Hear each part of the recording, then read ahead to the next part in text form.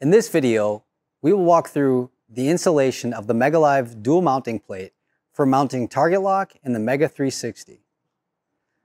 The dual mounting plate will allow you to install your MegaLive imaging target lock on one side of your trolling motor and the Mega 360 on the other.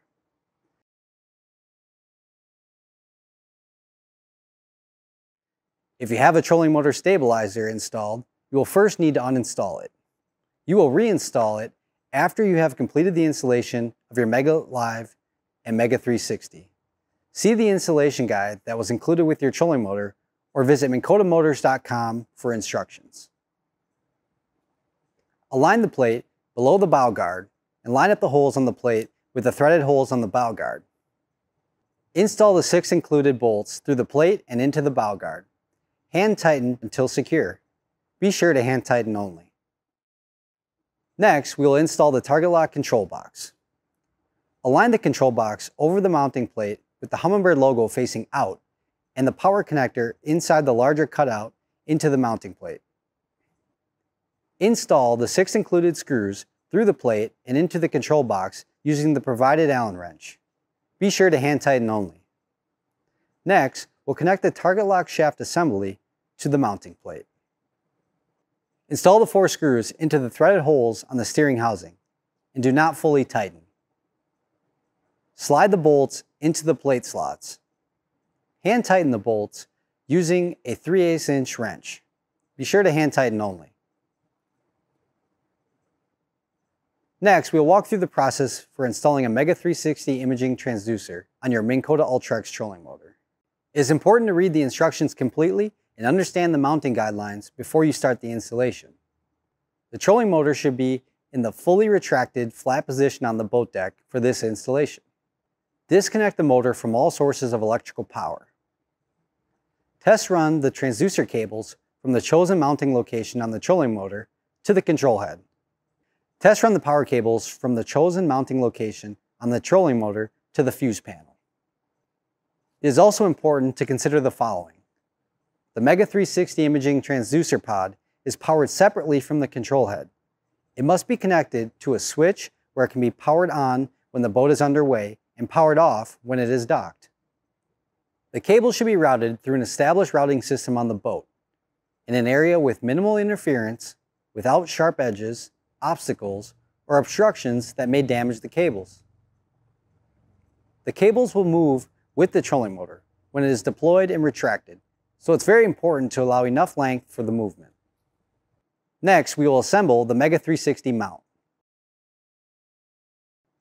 Align the left screw or right screw under the center hole of the dual mounting plate. Slide the screw into the plate slot and then slide the other two screws into the outside slots of the plate. Hand tighten the screws and be sure to hand tighten only. Next, we'll install the Mega 360 pod. Route the cables up through the trolling motor mount and bracket. Use an Allen wrench to install the two socket bolts on the bracket where the pod shaft is installed. Tighten the bolts so that the pod shaft is fully secure and won't drop when it is deployed in the next step. Be sure to hand tighten only. Next, we'll walk through the adjustment of the pod height. Deploy the trolling motor and loosen the socket bolts on the mount where the pod shaft is installed. Adjust the pod shaft up or down so it meets the following height requirements. The pod must be mounted approximately 6 inches below the waterline, and the pod must be mounted at least 1 inch above the tip of the trolling motor prop. The pod shaft needs to protrude at at least 1 to 2 inches above the bracket when it is installed. If the pod is installed too close to the prop, it will be damaged. Ensure there are at least 1 inch of clearance between the pod and the trolling motor prop. Mega 360 damage caused by the pod being installed too close to the trolling motor prop is not covered by the product warranty. Turn the pod shaft until the round end of the transducer points in the direction of travel. The center line of the transducer should be parallel with the center line of the boat. When the transducer position is finalized, hand tighten the socket bolts equally and completely so the pod shaft is fully secure and won't drop or rotate during operation. Tighten each bolt an additional quarter turn, or even a half turn, and be sure to hand tighten only. Next, we'll install our collar clamp. After you have established the pod height is no longer than one inch from the tip of the trolling motor prop, install the collar clamp to prevent the trolling motor from hitting the transducer pod. Slide the collar up the base of the bow guard. Use an Allen wrench to fully tighten the socket bolts until they are secure. Be sure to hand tighten only. Next, we will route the Mega 360 cables. Connect the power cables to the power cable connector on the pod shaft and connect the transducer cable to the transducer cable connector on the pod shaft. The connectors are keyed to prevent reverse installation, so be careful not to force the connectors. Hand tighten the screw nuts on each connector. Rotate the cables to the side of the trolling motor over the bow to the chosen connection location.